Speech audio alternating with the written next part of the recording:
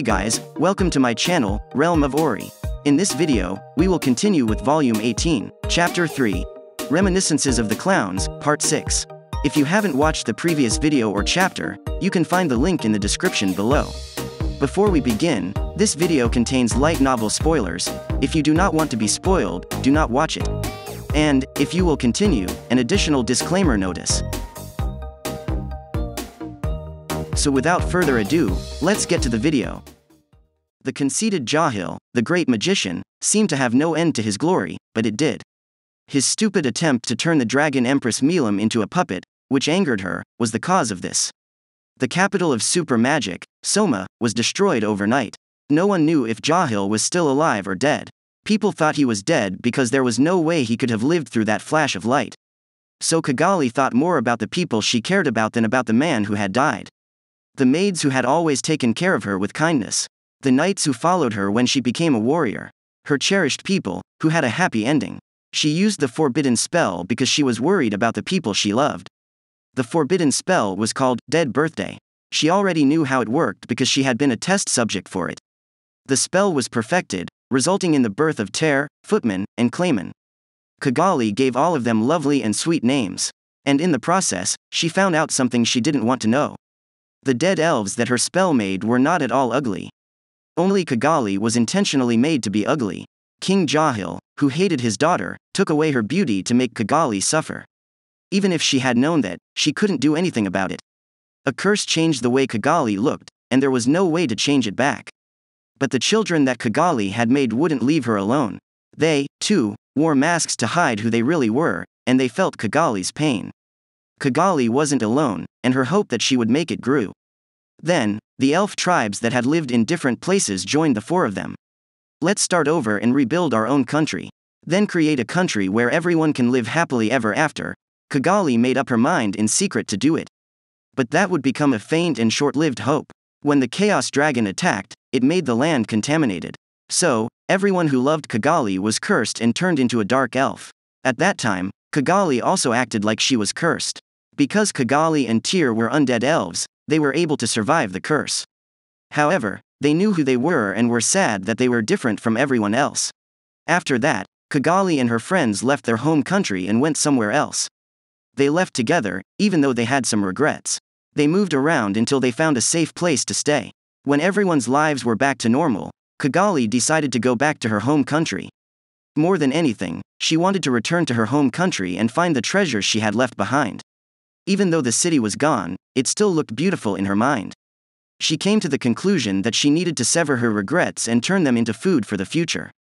So, she left, and while she was traveling, she met a man. What, you? You could have helped me if you had been watching me, right? Don't be a fool. A person like me cannot compete with that catastrophic dragon.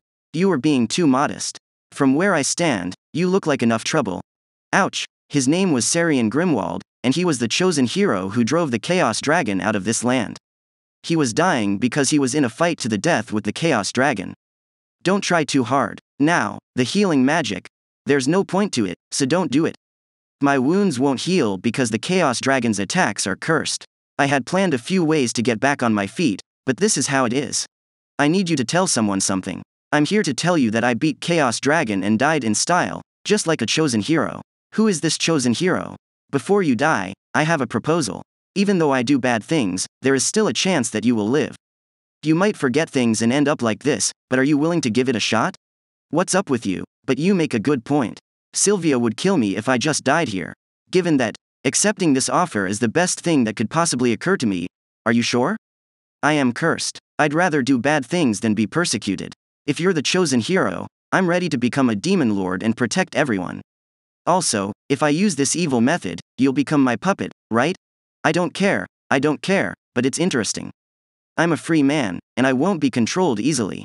Also, a chosen hero and a demon lord are always connected in some way. So, that's how you and I met, right? You're an interesting guy, even though you're talking nonsense. Then I'll make you my puppet. The talks came to an end. Kagali thought that what Sarion said was a joke, but it was not. And as a result of this whim, Sarion became undead and lived. Curse Lord, Kazaream and Wonder Pierrot, Laplace were born at that time. Since then, many things have happened. Taking control of the territory. The war against humans and half-humans was very hard, but Kazaream was able to get through it and become Curse Lord. He was known as one of the demon lords, and his power grew steadily over time. He chose Carrion, the Beast Master, and Frey, the Sky Queen, as demon lords and made a strong alliance with them. The situation was good, so much so that he didn't even realize he'd stopped trying. The next target for Kagali was a young man named Leon. The idea was to control Leon and teach him a lesson in humility after he declared himself a demon lord in the middle of nowhere. As soon as she saw him, Kagali started to feel jealous. Leon, this man who said he was a demon lord, was too gorgeous. Her demon father, the king, had made her look ugly. Her gender had been taken away from her, and she had been struggling to survive. The appearance of Leon, a man who was more beautiful than a woman, slowed Kagali's thinking, and she made the grave error of underestimating the strength of her foe. Leon's blow caused Kagali to lose her physical body, leaving her only with her spiritual body to travel the world. She should have vanished, it was a miracle that she didn't. She was angry, but she also wanted something. Therefore, Kagali clung to life. As the Curse Lord, she used what little power she still had to get ready for her own resurrection. Then, in a daze, she tried to summon one last time, but she didn't realize it and didn't take over. Her plan fell through, and she gained nothing. The rest of it was wiped out. Help me, save me, I don't want to be parted from you. I just want to be happy with my friends, but why am I the only one who feels this way? She complained about her bad luck and asked for help, but no one responded. Kagali wasn't by herself, but nobody came to help her. It was a difficult journey. Ideals were a long way off, and Kagali was in charge. She couldn't complain, and she had to always look ahead. So Kagali had stopped hoping that she would be saved. She could only count on herself and her closest friends. She had always lived this way. However, Yuki Kagurazaka, the boy, okay, then. You look tired, so rest for now inside me. After Kagali attempted to kill himself and was never saved, Yuki Kagurazaka reached out to him. After a few years, the next few years, Kagali slept inside Yuki and talked to him and gave him advice. Kagali, who had been living inside Yuki, had finally assumed a homunculus body. In keeping with his word, Yuki. Moreover, this is my original form. Kagali was so happy about Yuki's kindness that she wanted to cry, but she kept her cool. She tried to keep her manly voice, but Laplace told her to stop. He was acting like he was making fun of Kagali, but he really cared about her. Thanks for everything, boss. Kagali thanked him very much. Kagali could look forward to tasty meals and desserts now that she had a body. The cream puffs were particularly tasty. Having a good time and laughing with friends. They were so happy, but that happiness didn't last for very long. Clayman was no longer alive. With the death of another close friend, Kagali and the others once again came to understand. For their own happiness, they have to take over the whole world. To take over this world and run it the right way. Clayman is stupid, arrogant, and cute. I'm sorry that happened to you. Rest now and keep an eye out for us. We will make what we want happen. Kagali and the others weren't on the side of right, but they weren't bad either. They were average, so, they should be able to make a world where everyone can live happily. They continued to do what they were doing because they believed this. They beat Mariabel, but Demon Lord Rimuru found out, so they ran away to the Empire, where Lieutenant Kondo took over. Yuki was also taken control of. Even though Kagali's heart was about to break, she couldn't give up at this point.